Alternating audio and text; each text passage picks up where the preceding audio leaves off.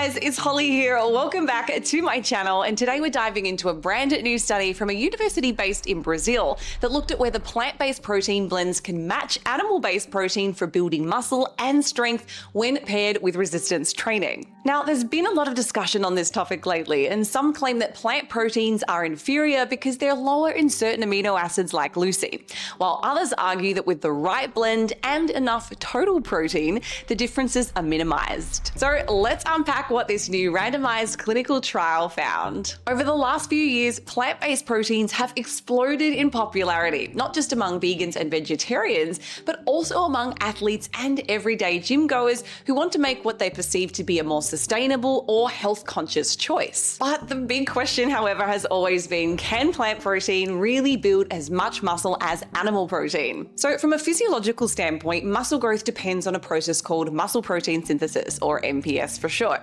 the creation of new muscle proteins after you eat protein and train. What drives this process is the amount and type of amino acids, particularly leucine, which act like a switch to turn on MPS. Now, here's where the debate comes in.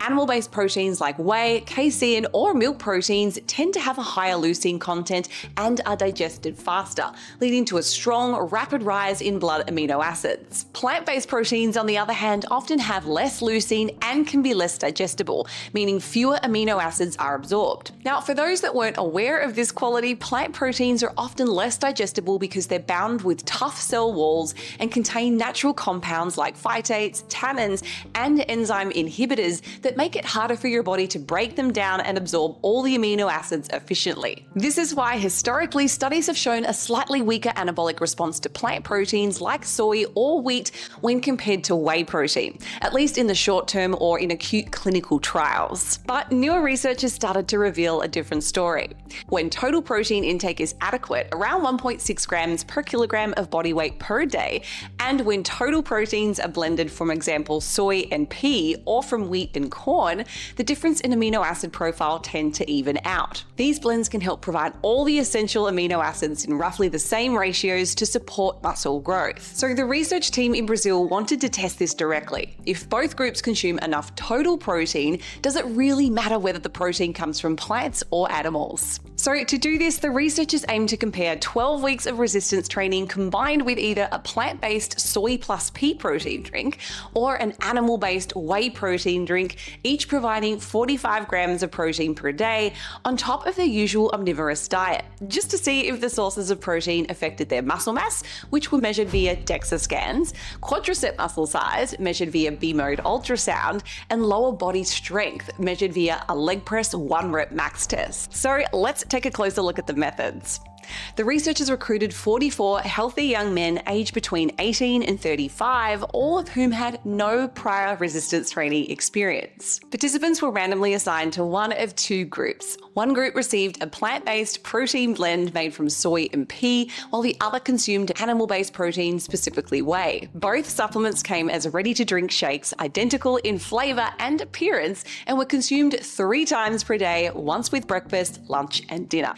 Each serving contained around 15 grams of protein for a total of 45 grams per day over a 12 week period. Now, you can see the nutrition breakdown of these two shakes in the image on the screen. Both groups followed the same supervised resistance training program, which was focused on the lower body. Training was performed three times per week on non consecutive days, with the exercises including the leg press, leg extension, and leg curl, and the program progressively increased in its intensity. For the first four weeks, participants performed two sets of 12 to 15 repetitions. In weeks 5 through 8, they did three sets of 10 to 12 reps, and in the final phase, participants completed four sets of 8 to 10 reps, a classic linear progression model. Each session was fully supervised by experienced staff to ensure consistency and correct technique. To assess the outcomes, the researchers measured muscle size, body composition, and strength before and after the intervention. Muscle size was measured using ultrasound of the vastus lateralis. Total and regional lean mass were determined using DEXA scans. And finally, strength was evaluated using a leg press one rep max test. The graphic on the screen gives you a bit more of a visual overview of how the study was conducted. Throughout the study, participants' diets were closely monitored using multiple 24 hour dietary recalls to ensure they had maintained their normal eating patterns aside from the provided protein supplements. Now, this is important because both groups followed an omnivorous diet and started with roughly one gram of protein per kilogram of body weight per day. So the supplement raised that total to around 1.8 grams per kilogram, which is considered more optimal for muscle growth. Importantly, this was a double blind randomized control trial, meaning neither the participants or the researchers knew who received which supplement until after data were analysed. Adherence to both training and supplementation were excellent, averaging around 90%, and no side effects were reported. So, what did the authors find? Let's take a look at the results. After 12 weeks of training and supplementation, both groups showed substantial improvements in muscle size, lean mass, and strength, but there were no meaningful differences between plant and animal protein. Lean mass increased across the board. On average, total whole body lean mass rose by about 2.4 to 2.5 kilograms, while appendicular lean mass, which is basically the combined leg mass and the arms, increased by roughly 1.2 to 1.8 kilograms. When they looked specifically at the legs, leg lean mass went up by about 0.9 to 1.3 kilograms in both groups. Ultrasound measurements of the vastus lateralis cross sectional area also showed clear hypertrophy, with gains of roughly 0.9 to 1.3 centimeters squared. Again, nearly identical between the plant and animal protein groups. Strength improvements followed a similar pattern. On the leg press 1 rep max, both groups increased their maximal strength by about 60 kilograms, which is a very solid increase for untrained individuals over a 12 week time period. Interestingly, both groups also experienced small reductions in body fat, suggesting a favourable shift in body composition overall. When it came to dietary intake, both groups successfully raised their protein intake and amino acid consumption to the targeted levels.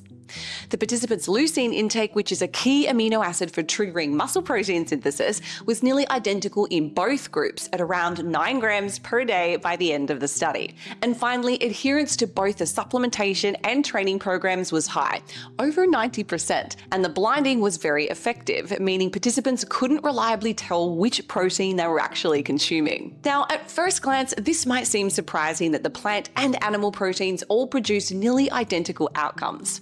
After all, animal proteins like whey have long been considered the gold standard because they're high in leucine and are rapidly digested, characteristics thought to maximize the muscle building response. But this study reinforces a growing body of evidence showing that when total protein intake is sufficient, the source of that protein might not matter as much as once believed.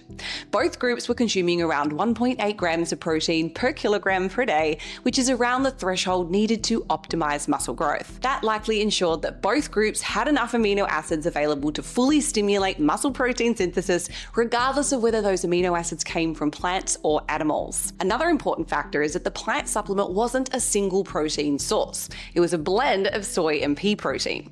These proteins complement one another. Soy is rich in some essential amino acids that pea protein lacks, and vice versa. For example, pea protein is relatively low in methionine and cysteine, while soy protein, on the other hand, provides more of these two amino acids. Together, they create a more balanced amino acid profile that mimics animal proteins quite closely. The leucine content was also matched between plants and whey drinks, around 1 gram per serving, which likely played a role in the equalized anabolic signaling between both groups. Now, there's also a practical point to consider here.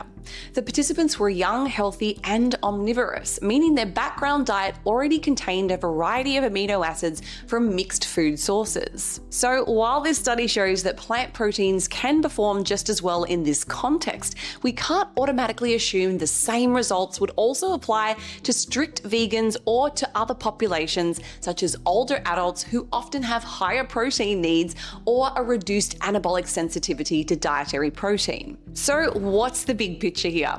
This study shows that when overall protein intake is high enough and your training is consistent, the source of additional supplemental protein, be it plant or animal, doesn't seem to make much of a difference for building muscle or strength. That doesn't mean all proteins are identical. It just means that in practical terms, if you're getting enough total protein from quality sources, you can absolutely build muscle if you supplement with plant based protein.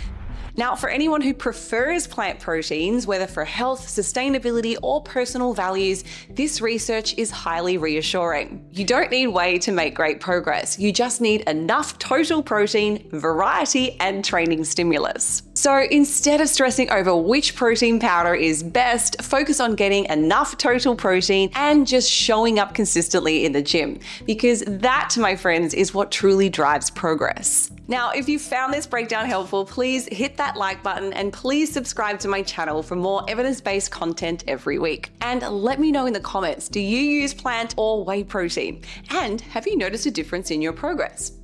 Until next time, keep training smart, fueling well, and I'll see you in my next video.